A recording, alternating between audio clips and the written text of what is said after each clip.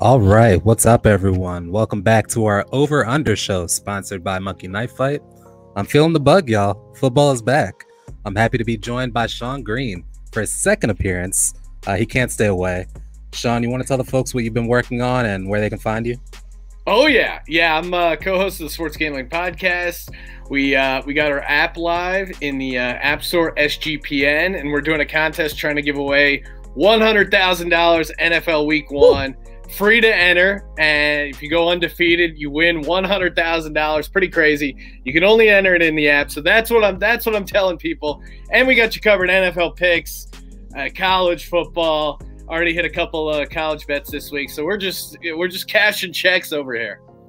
That's quite the return. Free to 100k. Yeah, that's that, how you do it right there. That's there. a great investment. You literally and it'll take you less than two minutes for a chance to win hundred thousand dollars. They're not giving away free lottery tickets. You go into 7-Eleven, they go. win a couple bucks. All we right. want is for you guys to download the app, and uh, the app's free, so uh, you have really have nothing to lose. All right, so that's all the more reason to download the app. Support our boy Sean here. Support yourself. Get some of this money.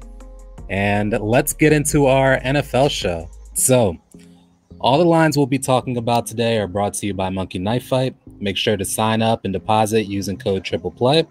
You'll get us paid, and you'll your deposit will be matched up to $100. So you can tune into us every week to help you flip that. Uh, make sure to check out Kevin's college football monkey knife fight over under recommendations as well on YouTube or on our Twitter. So let's get into it. So uh, we're gonna start with monkey knife fight's more or less game. So uh, if you get both right, you multiply your bet by three times. So we have Tom Brady over under 300.5 yards and Dak Prescott over under 285.5 yards. So Sean, how are you feeling about this one? Yeah, I mean Brady's kind of interesting in the uh, in the playoffs. He only went over 300 yards once, but four out of the last five regular season games, he he hit that by a uh, by a pretty nice margin. I'm taking the over. It, it's a it's a twofold bet here. One, I, I think Brady. Uh, shows up in prime time. You, you see teams coming off winning the Super Bowl and, and really having great games at home. I think also there's just there's a ton of holes in this Cowboys defense. I mean, they yeah they brought in uh, Yeah. like a Parsons first round pick who should be good, but other than that, there's a lot of holes in that secondary. I, I just think the second, third receivers for the Bucs are just going to be a matchup nightmare for the Cowboys. I, I think they're going to have trouble uh, stopping them. Again, I'm a biased Eagles fan, but I, I think Brady throws for over 300. Okay, that makes sense there. And how about Dak?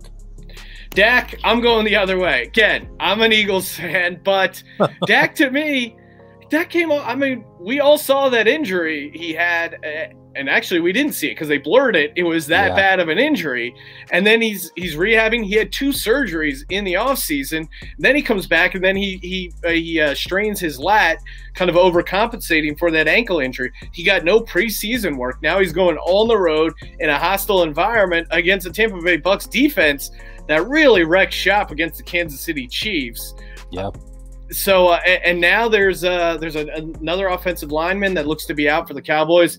I think they're going to really struggle on offense. And uh, again, Dak had no preseason work. He maybe maybe he figures it out later in the season. But I think starting cold, coming off that injury, and the first team you have to play is the Super Bowl champs on the road. That is a tough spot. So we're gonna have bragging rights between the two of us. I, I think all your analysis makes a lot of sense, but I'm actually flip, flipped with you. Um, Okay. so f- for me, you know, Vegas has the total at 51 and a half for the game, which is high, generally speaking. yeah. Um, the likely game script for me is that, you know, that Bucs defense that's returning all their starters, they're going to be able to hold the Cowboys in check early, and Dax get ba- as Dak gets back in the swing of things. Um, I think the Bucs take an early lead and kind of pound the ball running in the second half. So I'm taking a Brady under on the 300 yards, and then I think Dak's going to be forced to air it out late, which will force like some some garbage time yards and some garbage time points. So I'm thinking Dak gets that over. Yeah, no, I mean that's not a bad uh, angle, certainly, and and it kind of you saw that formula of, of them pounding the rock, the Bucs in the playoffs. It'll kind of be interesting if they play that style or the style they seem to play at the end of the regular season where they were passing a bunch. And you're right, if if Tampa Bay gets up big, it's easy to get those garbage passing yards. Yeah, yeah, and it's I don't know. It's it's just there's something about betting the under that just it's hard to it's hard to watch and it's hard to root for. So um, there's a good chance that they both they both might take the over there. So we'll see how that plays out. So let's move over to our over under 15x multiplier. This one's a lot harder, which is why you get more if you get it right. Um, if you get five out of five correct, you're gonna multiply your bet by 15 times. So we already discussed the Brady and Dak lines, which are part of this. Um, there are also three others. So we have um, Amari Cooper over and under over or under five and a half catches. We have Zeke over or under 60.5 rushing yards, and CeeDee Lamb over or under 60.5 receiving yards. Sean, what are you thinking for these other three? Okay, yeah. So Amari Cooper, he's interesting. He's still been been dealing with some injury issues, and, and again, no, you know, no uh, preseason chemistry with Dak. I think is going to hurt him. I'm going to go under on Amari Cooper. Uh, Zeke being at 60 and a half, that is that is really low. I mean, I, I do like the matchup for the Bucs and their their front four against that Cowboys offensive line, but I think Zeke is going to get this just off the the amount of carries he gets. So I, I think they're going to give him 20 plus carries. And even if he, you can have a bad game, but with 20 plus carries, you're getting to 60 and a half rushing yards. That's too low. And CeeDee Lamb, he's he's the guy that I think of the of the Cowboys skill positions probably has the has the um, I, I, think he's the most athletic and most dynamic. I, I think he's in store for a big year. So I go I go over on CeeDee Lamb as well. Yeah, I think I think that makes a lot of sense. Uh, we're flipped again on everything but CeeDee Lamb. So, following the game the game script that I think might play out, you know, I think Amari gets comfortably over that five and a half catches line when we're talking, you know, garbage time throws yeah. and garbage time points. So, as for Zeke, you know, he actually had eight games last year that were under 60 yards. And this is a rough defense to go up against. You know, I agree with you. If he's going to get 20 carries, he's going to smash that over. But I think if if how this plays out, is that the Bucs take an early lead and pound the rock, and you know we have to we have to have a lot of throwing in the in the second half. I think it makes sense for him to go under, so I'm taking the under there. Um, that pains me because I'm expecting a great year from Zeke this year, but I'm taking the under on Zeke rushing yards. And as for Lamb, uh, I think we're both we're both locked in on that one. I'm gonna take the over on receiving yards. I think Dak's really gonna have the ability to spread it around. I think he's gonna knock off that rust fairly quickly. I think they would have played him in the preseason had they been worried about any rust. I know he had some injury issues there towards the end with his shoulder and whatnot, but I think with all that they've invested in him, they they need to to know that he's going to be you know hitting on all cylinders. And I think the fact that they didn't play him in the preseason means he was he was showing up well in practice. So I think um, that second half he's going to have a chance to hit those overs. So lastly, let's get to the monkey knife fight touchdown dance game. So this one's a little interesting. So essentially, you can draft three players um, to exceed the touchdown totals goal. So the goal is either two and a half touchdowns, three and a half touchdowns, or four and a half touchdowns. The more touchdowns you have, the higher your multiplier. But if you're wrong, you're gonna you're gonna whiff on all of those.